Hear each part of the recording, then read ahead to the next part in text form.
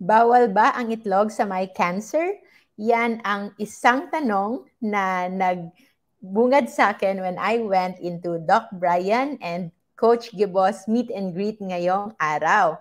Bago ako lumabas, maraming nag-approach but there's this one woman na nagtanong, bawal ba ang itlog sa may cancer? Kasi meron daw siyang cancer at pinagbawalan siya ng kanyang doktor. So we have here I think this one is salted egg and eto naman brown egg. So, eto yung itlog na pag-uusapan natin ngayon. Ano ba ang cancer at ano ba ang meron sa itlog? So, yung cancer is isa yung malignancy sa ating katawan. Ito ay tumutubo ng hindi regulated. So normally kasi yung cells natin sa katawan dapat hindi sila nag-overgrow. So yung skin natin dapat hanggang dyan lang, yung mata natin dapat hindi lumalagpas dyan, yung bibig natin, yung mucosa, yung red as compared to the skin here dapat hindi lumalagpas. However, if there are instances na merong injury, repair, injury, and repair, magkakaroon yan ng errors eventually at magkakaroon ng overgrowth. So when it comes to cancer formation, marami yung trigger. Generally, it is injury. It could be related to too much sun exposure, too much heat, pwede rin siyang mga chemicals, toxins, and many more. And ano ang nagpapa-thrive sa cancer? There are two things na tumutubo yung cancer. The first one is the signal para ito ay tumubo. So, there is this signal for growth. Ano yung growth na yon? Anything that causes anabolic na signal. Anabolism or building up signal. Okay? Yun yung isang signal. At yung pangalawa, pagkain para ito ay masustain niya yung trigger na para tumubo. So ano ang mga dalawang signal na yon para magkaroon ng cancer? So after the injury, after the damage, and you will have a signal sa katawan mo na anabolic phase ka, building up ka, too much build up. That is actually going to ignite. Pwede itong makapagsimula ng tumor formation. Sa simula, pwedeng benign, hindi siya cancerous, but eventually, kapag patuloy ito, it can go awry and it can cause multiplication na hindi controlled. That is when cancer is present. At pag pinakain nyo yung cancer ng kanyang paboritong pagkain, so of course, lalago ito. So ano yung common ground ng pagkain when it comes to anabolic na signal and food for the cancer? It's actually carbohydrates and sugar. Because when you eat sugar and carbohydrates, tataas yung insulin spike sa katawan, tataas yung level ng insulin, and insulin is an anabolic hormone. Nagsisignal siya ng building up, hindi siya nagsisignal ng breakdown. So it will signal your body to keep on building para siyang builder. Pero since tayo ay malaki na, we are already adults, most likely wala na tayong kailangang mas marami pang build up. That's why if we keep on sending a signal sa ating katawan na mag-build, build, build pa, kahit pa tapos na sana yung project na ikaw, ay pwede siyang mag-build ng mga wrong kinds of stuff. And those wrong kinds of stuff is signaled by insulin at eto, yung ibibuild niya is protein. Protein yung ibibuild niya pero yung kakainin nito yung kakainin nito for it to have energy to multiply and certain substrate na po pwede rin niyang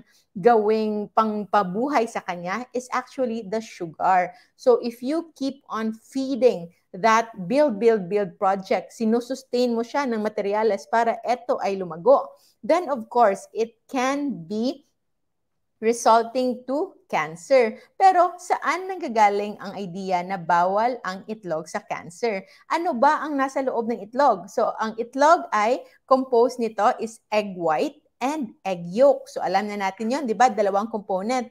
Generally, ang egg yolk is puro fats. And generally, yung egg white naman is puro proteins. So, ano sa dalawang yan yung diretsang nakakakos ng cancer. So when it comes to dalawang signal na sinabi natin, the anabolism and the food for cancer, it's actually not about carbohydrates. Kasi yung isang itlog, may 1 gram of carbohydrates lang. Sobrang liit lang yan. It's not enough to cause cancer. But the proteins can signal anabolism, but not too much. Yung signal ng anabolism ng coming from proteins is hindi siya enough to produce cancerous growth kasi minimal lang yung response. However, ang problema is kapag kumain ka ng proteins na nakakasignal ng insulin. At the same time, kumain ka ng carbs, so nadodouble yung insulin response at nagbibigay ka ng sustento for the cancer to grow. So, egg alone is not going to cause cancer.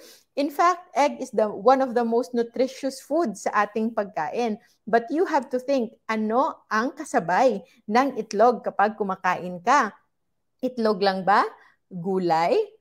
Karne, manok, other meats, seafood, or baka naman tinapay na merong palaman na mayonnaise na process, nilalagyan pa ng sugar para matamis, tapos nagso-soft drinks ka on the side, or nagsa-sunny side up ka, niluluto mo sa toxic oils tulad ng mga vegetable oil na karamihan ay mga seed oil tulad ng canola, sunflower, at marami pang ibang toxic oils, then that egg may be contributory to your cancer, but it's not the egg alone. It's the ones that you eat it with. Ano ang pinagkakakain mo kasama yung itlog? Because generally, in our practice, egg is very, very healthy. Isa siya sa pinaka-basic na pinaka-healthy na pagkain sa mundo. Yung kulang lang, alam niyo ba na ang isang itlog is actually full of vitamins and minerals. Yung wala lang sa isang itlog is actually just the calcium. Pero kung kakainin mo yung shell, then it's already a complete vitamins and minerals na profile. Ganun po ka-nutritious yung egg, but it can be contributory to cancer if kumakain ka nito na merong kasabay na nagti-trigger ng sobrang insulin spike at substrates pagkain for cancer growth and that is sugar and carbohydrates. Sugar, mga matatamis, ice cream, and then we also have mga mga soft drinks, fruit juices even. Carbohydrates can be starch. Starch, complex carbohydrates kasama yan ay kanin. So, for those na natatakot na huwag nang kumain ng itlog para dahil avoid sila ng cancer, try to think, okay lang kung gusto nyo, ayaw nyo talagang kumain ng itlog. Pero kung hindi kayo kukain ng itlog, pero ang ipapalit nyo sa itlog is tinapay, kamoteng, sobra-sobra sa dami, mga rice, soft drinks, kung meron pa kayong mga biscuit, mga crackers, then you might as well better eat eggs because egg is actually just okay. It's very healthy. It's very neutral, especially if it's organic, it's if it's farm raised, pasture raised, at hindi ito kinakain na kasama yung mga toxic na pagkain and toxic ingredients, processed foods, seed oils, margarine. Wag na wag kumain ng margarine, especially with egg. Kung gusto nyong merong pampalasa, you can have butter instead. Mas mahal ng konti pero hindi nakaka-damage ng katawan. It will not cause inflammation. So personally, for me, bawal ba ang itlog sa may cancer?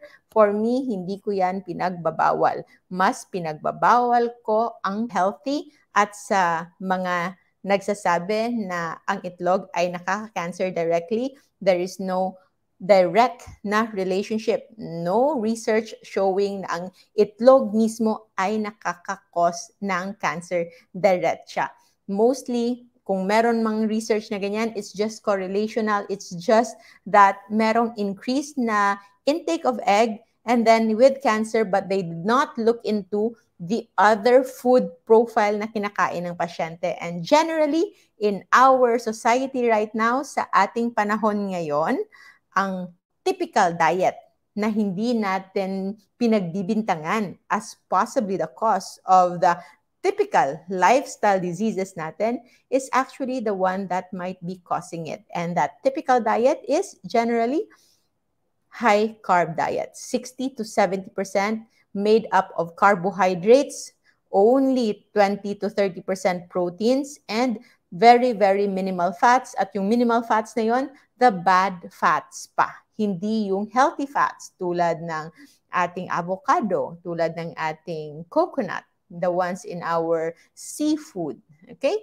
And kung meron man silang kinakain, mostly it's all the carbohydrates na 60% mostly composed of rice, mga mais, oatmeal, uh, wheat flour and wheat products, grains, and many, many more. So for me, hindi bawal ang itlog sa my cancer, especially if you eat it together with the foods in our JGC Rojo food list na nasa safe list natin. And you do not eat it so much kasama ang mga nasa danger list as well as nasa caution list. Itlog, I believe, is one of the healthiest food na provided by nature. Of course, hindi rin tayo kailangan kumain ng itlog lang parate araw-araw like one whole tray in a day. Hindi rin ganon yung point natin. But the idea is, egg is healthy. You just have to eat it the right way, consume it the right way, and you better avoid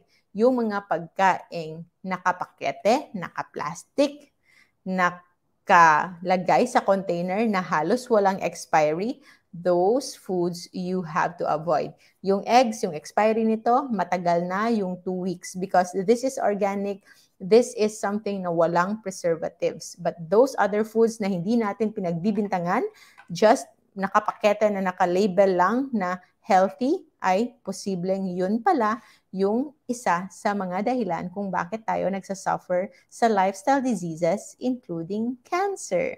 So, cheers tayo! Kain tayo ng itlog, huwag matakot sa itlog, and embrace natural, healthy, whole, low-carb foods. Maraming salamat everyone for being with me tonight. First live natin after a while. I'll see you in our next video. Remember to always stay low carb so that we all stay safe. Bye bye. Thank you.